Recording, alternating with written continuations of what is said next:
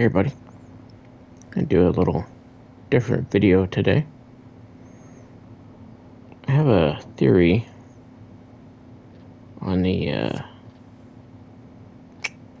Gavin mystery. I think it's, it's a little different than what everybody else thinks. Uh, if you played our Red Dead Redemption 2, you probably met Nigel. He's, the guy wandering around calling out for his best friend Gavin. He's searching for him. No one seems to know who Gavin is, and nobody can help him. And it's one of the mysteries that doesn't get uh, resolved. That's why it's uh, interesting, I think.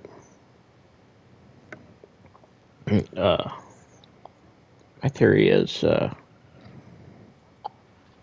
there's something darker about him. I think uh, Nigel might have actually killed Gavin.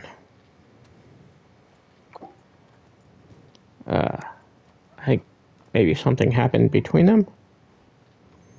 And then uh, Nigel's guilt uh, made him not accept what happened. So, in his mind, Gavin's still out there and he needs to find him. But, like, he's also punishing himself, wandering through the world, calling out for someone who's long gone. Uh, also, maybe like traveling all that way and for years, so he's trying to like make amends for what he did but he doesn't subconsciously realize it. So that's my theory. Nigel killed Gavin, and now he's stuck in this cycle of searching for someone who's never coming back. It's like his mind can't let go of the guilt.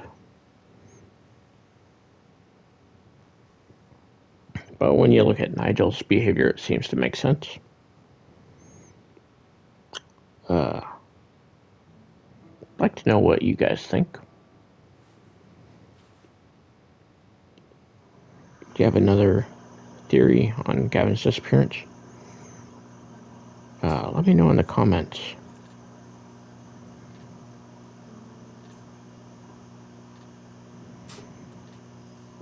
So, uh,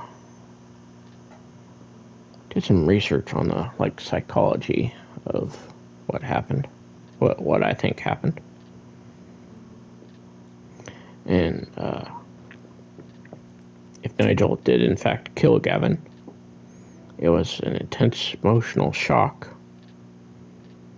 And it was so dramatic that uh, his mind couldn't cope. Uh, I think when people experience something like that, especially when they've done something they regret or can't fully accept, they sometimes repress the memory or the emotion tied to that event. And it's like the brain's way of dealing with that. And also, they might try to create like an alternate version of events. Like uh, Gavin is still out there. And Nigel's guilt is so overwhelming that he couldn't bear to face it. That's it. That he's responsible for Gavin's death. So, in his mind, takes him on this like never-ending search for Gavin. Like, uh,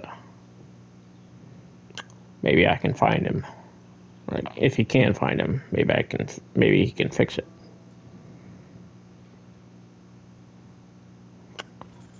And this kind of behavior is often seen in people who experience guilt or trauma. Yeah.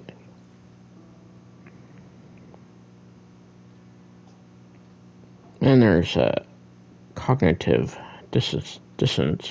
I don't know if I'm saying that right. Which happens when a person's actions don't align with their beliefs. If Nigel truly believed he was a good friend to Gavin, but his actions led to Gavin's death. whether by accident or some other way, it creates a huge internal conflict. And this, uh, the guilt of his actions and the belief that he was a loyal friend could be the key to understanding his obsession. obsession. And to deal with the dissonance, Nigel, Nigel might have unconsciously constructed a new narrative where Gavin is still out there, alive, waiting to be found. Like a coping mechanism.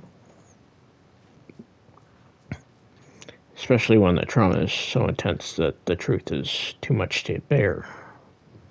In this altered reality, Nigel's search just isn't just for Gavin, it's a desperate attempt to restore his sense of self self worth to undo the harm he's done in his own mind.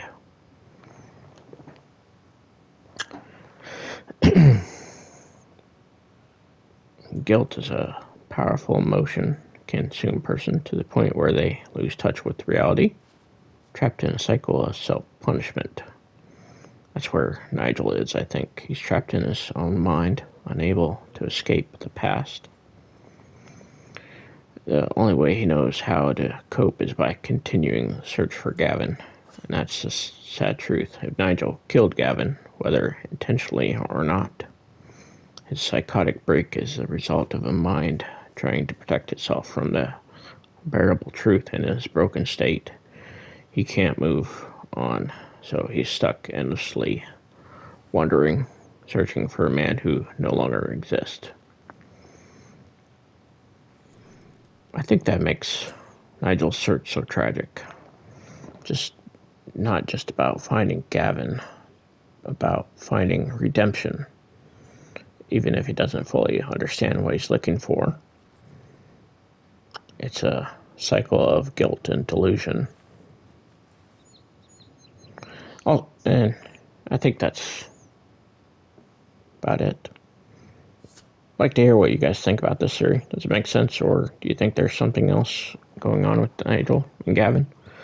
Let me know in the comments, and don't forget to like and subscribe for more. Thank you. Goodbye.